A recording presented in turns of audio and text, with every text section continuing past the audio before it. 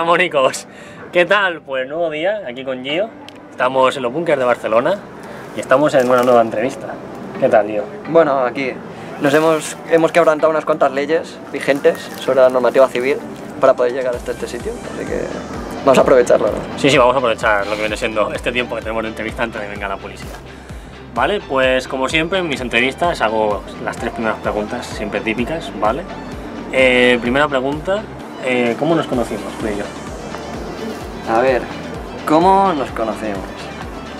Pues... ¿Te refieres a la primera vez que nos vimos o a la primera vez que nos conocimos? Las dos veces. A ver, la primera vez que vi a Mera, por así decirlo, estaba yo en su barrio, en Pubia Casas, ¿vale? Bueno, el barrio donde trabajaba, en la Gijonenca, y estaba con un amigo suyo que es el cámara Eddie, que no ha venido hoy, de migrante, o de inmigrante también, pero bueno. Y estaba con él y él pasó con una chica, o sea que también dice de mí, pero... Pero, y, y esa vez pues fue un, hey, hola, me llamo Giovanni, tú- yo soy el Mera, y ya está. Fuera. Y adiós, y se fue a darle cosas. Y No, la no, la segunda es que vez, y, y la vez que sí, que sí, que sí, fue un día que Eddie también me dijo, hey, tengo un amigo que juega al, al Brawl, al Smash Bros. Brawl, y que quiere meternos una paliza. Digo, vale, pues vamos a... ¿Dónde vamos? A su casa. A su casa. Y ya está, fui, nos dio una paliza, como había dicho. Yo las promesas las cumplo, eso es lo que Sí, tiene. sí, sí, utilizando a Kirby, hijo de puta. Vale, vale. Bueno. No está chetado, cabrón. Eh, segunda pregunta. Eh, ¿Cuál fue tu primera impresión sobre mí? Y yo te diré cuál fue la primera impresión sobre ti. Pues la primera impresión fue... eh, la habitación está muy oscura, este parece Batman, o sea, no sé si se la casca aquí todos los días. Alternará con el baño o yo qué sé. Pero bueno, que me pareció un tío súper campechano, lo que pasa es que dijo, no me llaméis por el nombre, llamadme por el apellido. Y digo, vale, pues... Ok. Y nada, pues campechanísimo, como siempre. Eso es verdad, es, es algo que tengo yo ti. Yo la primera vez que lo vi, a ver, fue algo raro porque la primera vez que, que te presentan a alguien no es en tu casa, ¿vale? Fue la primera vez que pasó. Y vino, era Navidad, me acuerdo que era por las Navidades.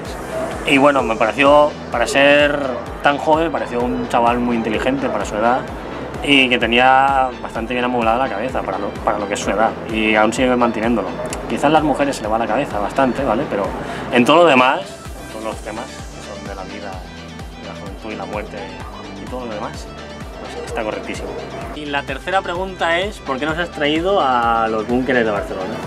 ¿Por qué he traído aquí al equipo? a- a- Enfoca al equipo, enfoca al equipo. En- Enfoca a todo el equipo ya. Vaya equipo. Es Gio, soy yo, ¿vale? Está aquí alguien, que está, el señor Adrián, que está aquí de... Yo acoplado normalmente. Y está el señor cámara.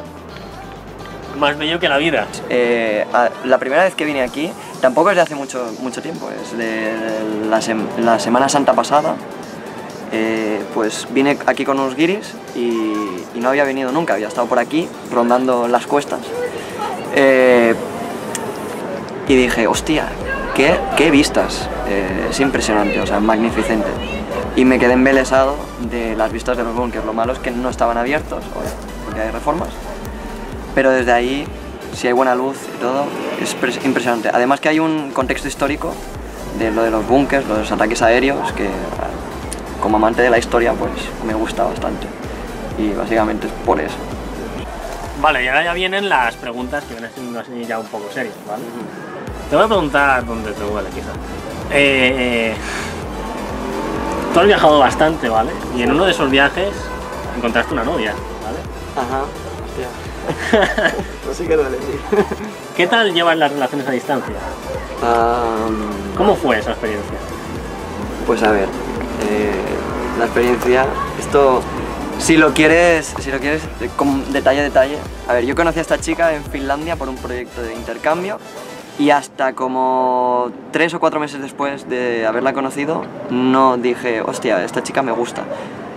Eh, después empezamos a tener una relación, duró un año y siete meses y he estado pues bueno durante 2012 y 2013 así bueno 2011 2013 estuve viajando a Polonia consecutivamente muy muy repetidamente para ir a verla Y a ver, mantenerla se mantiene siempre y cuando no te deje por, no, por cosas extrañas. ¿no?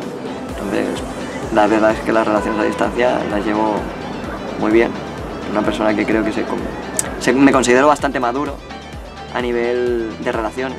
Lo que pasa es que desde entonces tampoco es que haya tenido una relación muy, muy estable. O sea, no, no tengo muchas ganas de, de estar ahí litigado por alguien. Y no es por causa de la relación esta. Es un poco por causa, sí, un poco por causa, ya no... Ah, como... Ya, ya sabía. Amor, amor. ¿Qué es una copolla? Eh, ¿Qué, una, es- qué es una copolla? Sí, una copolla es eh, eh, una... A ver, es un concepto que se inventó en Best eh, Barcelona, ¿vale? Que es una organización de ingenieros de la UPC, eh, bueno, de ingenierías, de universidades politécnicas de toda Europa. Y copolla lo inventó un tal Angelita, ¿vale? Que es de, de Madrid. ¿No sería una tal? No, es Ángel Ita Ah, pero se le llama Angelita todo seguido.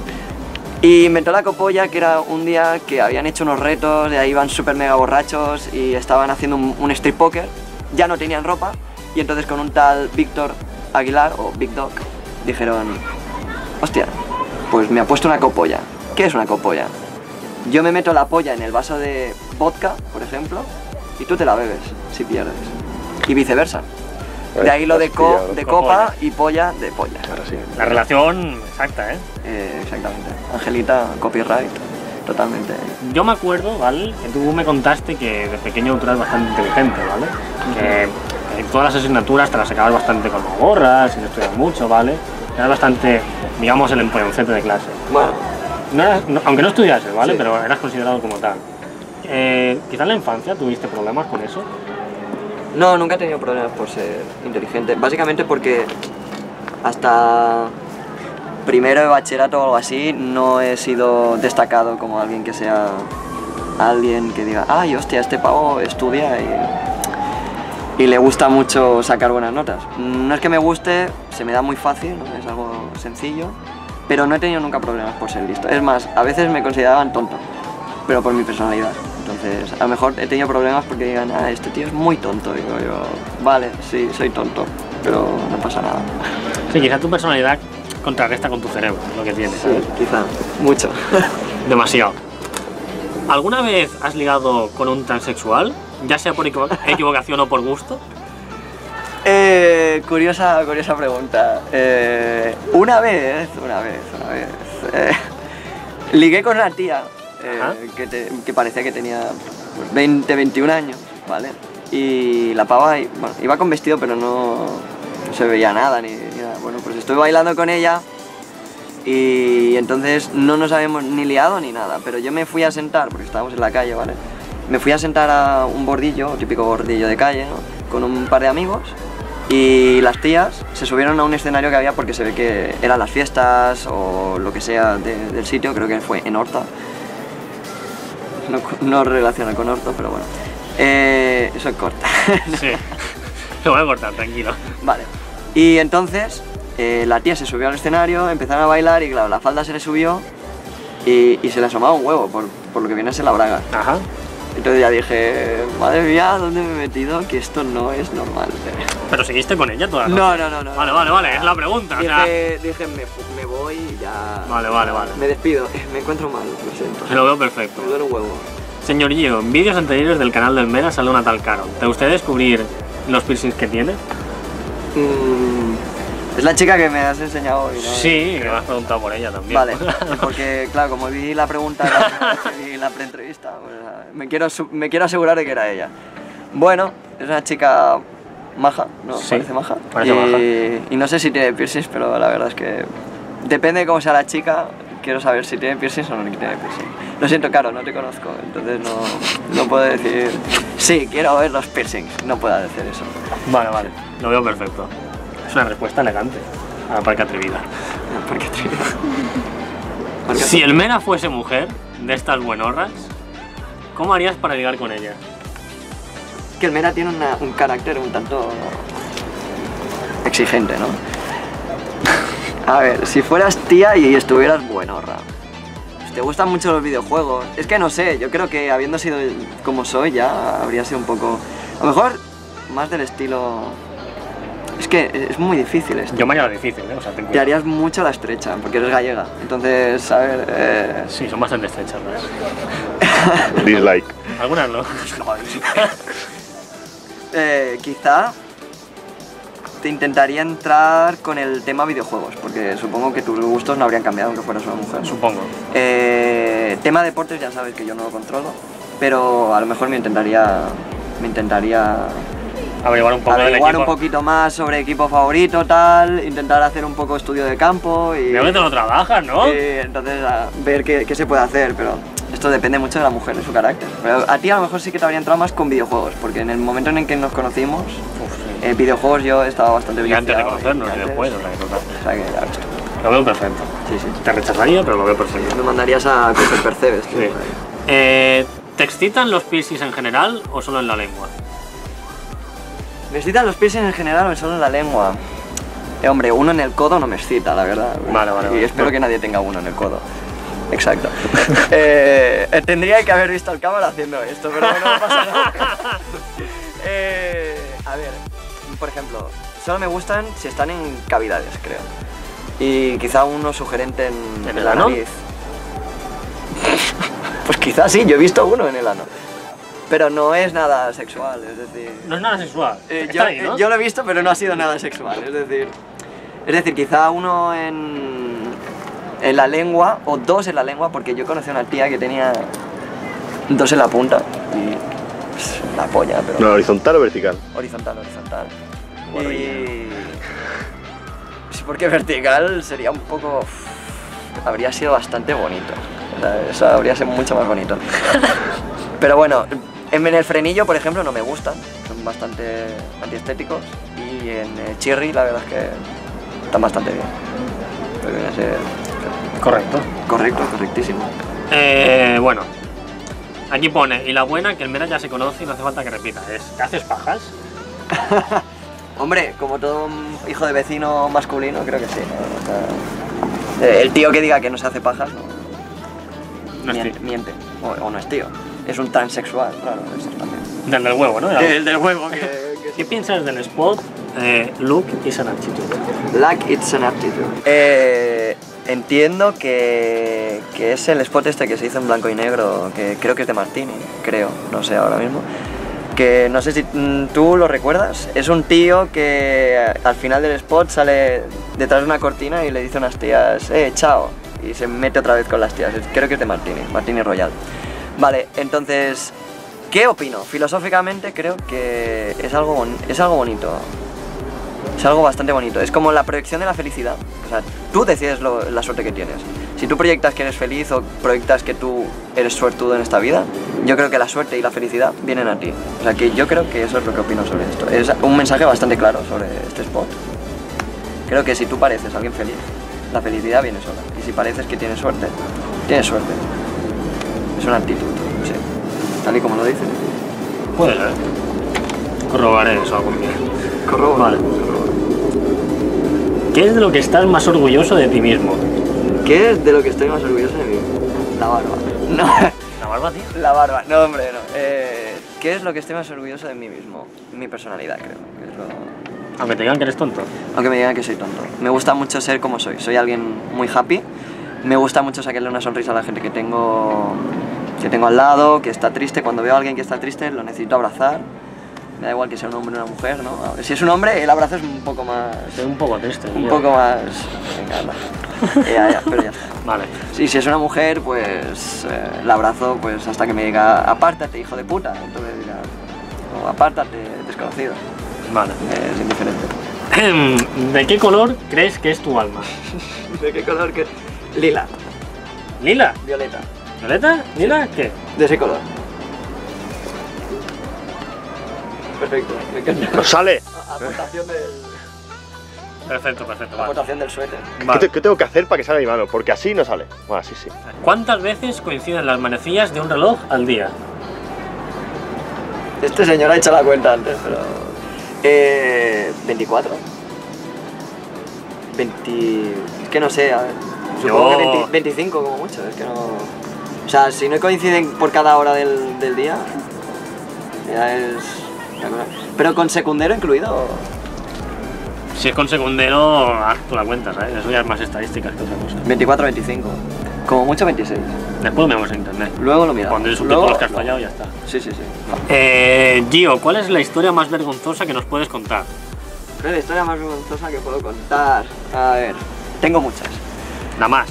La más vergonzosa es emborracharme en Polonia. Ajá. No en Polonio, en Polonia. Y... No recuerdo mucho, creo que recuerdo un poco por fotos esa noche.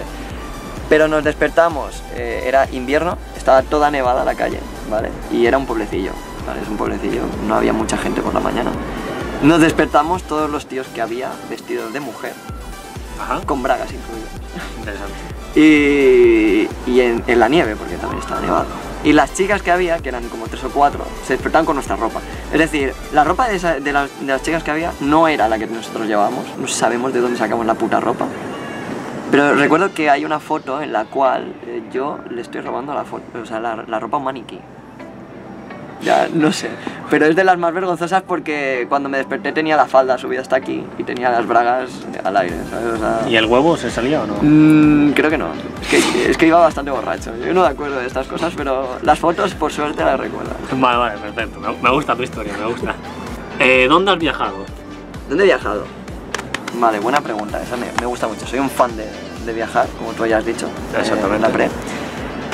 Pues yo he viajado, a ver, eh, a nivel nacional, por ejemplo, solo he viajado a Valencia, Extremadura y, Canarias. Ah, y Mallorca, vale, ya está. Bueno, y Andorra, si lo quieres considerar. Y nivel internacional, que creo que esto es a lo que va la pregunta, he estado en Polonia, en, en Finlandia, estuve en Alemania también, he estado en Inglaterra, para festivales de música, básicamente. He estado también en Polonia otra vez. No, y ¿Lituania? no, he estado en una pequeña parte de Eslovenia y una eh, Eslove- Eslovenia y una pequeña no Eslovenia no Eslovaquia y una pequeña parte de Ucrania. Pero estoy eh, voy a ir a Serbia seguramente este, este verano y alguna otra cosa. Y a Francia voy a intentar ir, a Italia. Eh, Sitios que se tienen que visitar sí o sí. Ah, pero bueno. ¿Te irías de viaje erótico con Mera o por lo menos de ruta de spas? Sea cual sea tu respuesta, vamos a suponer que sí. ¿Qué harías con él en un jacuzzi? Pues esto es un poco extraña la pregunta, no sé qué, qué enfermo ha pensado estas cosas. Pero bueno, a ver. eh, si nos iríamos de viaje erótico, si entiendo de ir de putillas y todo eso, sí, sí, pero no me gusta pagar por el sexo, así que A mí tampoco, tampoco, ¿eh? por eso. Spas, me encantan los spas, si te soy sincero, yo solo soy socio de un gimnasio solo por el spa. y por la piscina, no hay más. Y a ver, ya he dicho que sí, ¿qué haríamos en un jacuzzi? Yo creo que hablar como mucho. Juguetear. No, no, sí, creo que solo hablar y como mucho de tías, ¿no? Si quieres juguetear con mi pene, yo te dejo. Jugueteamos, jugueteamos. Vale, vale. ¿Por qué te decantaste a estudiar lo que estudias? Ay, me encanta esta, esta pregunta. Está saliendo un poco Backstreet Boy, mariquita, pero Muy bueno. Backstreet Boy, pero, pero bueno. Eh, a ver, ¿por qué me decanté por estudiar lo que estudio? Vale, bueno, pues estudio Ingeniería de la Construcción, ¿vale? Que es una parte de la Escuela de Caminos, ¿no? De Puentes, Canales y Caminos. Y en el momento en el que yo acabé bachillerato, dije, bueno, yo estudio científico tecnológico, y dije, ¿qué cojones hago? Vale, pues a mí me gustan mucho las ingenierías porque soy una parte científica, pero también soy hum- humanística, porque me encantan las letras, de canciones sobre todo. Pero bueno, humanístico, en plan filosofía, eh, lenguas extranjeras, todo esto me gustaba mucho. Y dije, me voy a presentar a filosofía también, la voy a poner de segunda opción. Y me aceptaron, pero claro, me habían aceptado la primera también. Pues vale, pues voy a ingeniería de puentes, canales y caminos. Pero ¿por qué, por qué me metí? Eh, básicamente es un- una cosa de tipo económico. A mí me gusta mucho la filosofía, me gustaría vi- vivir de ella, pero un profesor de filosofía no gana dinero, ¿vale? Y ya que me gusta mucho esto de construcción, ¿no? Porque me gusta mucho mejorar mi ciudad, mejorar distintos sitios. eh, hay países que no están nada, nada, nada comunicados con otros países. Faltan carreteras, faltan presas, falta de todo. Entonces esto es algo que a mí me gustaría hacer, ¿no? Es acabar la carrera, bueno, acabar el máster y irme a otro país, intentar hacer proyectos fuera, intentar mejorar las, las comunicaciones que hay eh, con otros países. Pero bueno, también es por parte del dinero, ¿no? Porque yo tengo una familia, me, gusta, me gustaría devolverle el dinero que han intentado invertir en mí y me gustaría darle gracias a mi madre, que es la que me ha apoyado siempre, ¿no? Ha estado siempre ella ahí cuidándome sola y, y por eso estudio lo que estudio. Que a lo mejor luego hago filosofía, que en realidad es puta madre. Ya, otro día. Ya otro día. Eh, Gio, ¿cómo te gustan las mujeres? ¿Cómo me gustan las mujeres? Eh, entiendo que es como el ideal, ¿no? De, el ideal de mujer que tengo. A mí me gustan mucho pelirrojas y rockeras y vamos, una mujer ideal que todo el mundo busca, ¿no? Bueno, me gustan eh, que tengan pues casi la misma apariencia que yo, porque yo soy un, un esmirriado, no tengo, no tengo casi nada de, de masa muscular. Me es indiferente si las pavas están musculadas, o si tienen un poquito más de peso, o, o si tienen la misma forma física que yo, ¿no? Pero si son pelirrojas, sobre todo. Pero lo que más me gusta es el carácter. Ser una persona confiada, que además le gusta mucho la broma y tal. Es la mujer perfecta. Ya con eso me encanta. Eh, Gio, ¿alguna vez has vomitado en casa de un amigo? Estás de muelas, hijo de puta. A ver, cuento la historia. Estábamos en las fiestas de Sans, esto ha sido este año, exacto. Ujú. Estábamos en las fiestas de Sans. Y entonces, eh, estábamos viendo todos los de Best, como antes he, eh, he dicho, es la organización en la que estoy. Y entonces, eh, ya estábamos muy, muy, muy. Sobre todo yo, yo estaba borrachísimo ya en ese momento, sangría a, a trochimuche. Y dijeron todos, bueno, bueno, nos vamos para casa, eso de las 4 y algo. Ya dijeron, venga, se acabó la fiesta, nos vamos. Hacía rato que se había acabado la fiesta. Y entonces yo dije, bueno, yo pensé en mi, en mi gran cabeza de Sans, eh, Esplugas está mucho más cerca que, que Belviche de, de Sans. Eso es lo que mi gran cabeza borracha dijo, Bien, bien, bien. va. Y seguía a mi amigo que iba con dos chicas y dije, bueno, pues me voy con él, pero sin preguntar ni nada. Fui, se, me- se metió en un bus, yo me metí en el bus también, estábamos hablando, tal, tal, tal. Llegamos a la puerta de su casa, en, está en una urbanización a tomar por culo en, en Espluga. Y, y va, y cuando estamos a la puerta, bueno, pues tú te quedas a dormir, ¿no? Y si me lo dices así, yo me quedo. Pues parte el sofá, vale. Me voy a tumbar al sofá porque yo ya me iba a dormir, y es que estaba... Entonces estaba así como espasmódico, ¿sabes? O sea, y entonces la tía dice, Muelas, ponle una palangana porque va a vomitar. Y entonces Muela dice, ja, ja, ja, ja, ja, venga, no seas de la broma. Yo le digo, Muelas, Muelas, ponme una palangana que voy a vomitar. Y dice, guau, guau, está súper cachondísimo. Y digo, no, no, tío, ¿dónde está el lavabo? Y le- me levanto del sofá, no sé qué, y empiezo a hacer, guau, por todo, por todo el pasillo. Me estaban intentando, como si fueran los toros, me intentaban, me intentaban guiar por otro lado. Me tiran para la cocina. Empieza a vomitar por toda la cocina como si fuera la niña del exorcista, hasta que llego a la pica y vomito ahí y ya descargo. Curiosamente había un cesto de la ropa limpia en la cocina, ¿vale? Y el vomitado la rodeó pero no la manchó. O sea, fue un milagro del Señor que hubiera pasado esto. O sea, pero bueno, que lo limpió Muelas, muchas gracias por limpiarlo. Yo le dije, lo limpio yo, y me dijo, no, no, tú ve a dormir. Y yo, perfecto. Pues nada, Trabajo hecho. trabajo hecho. Y así funciona.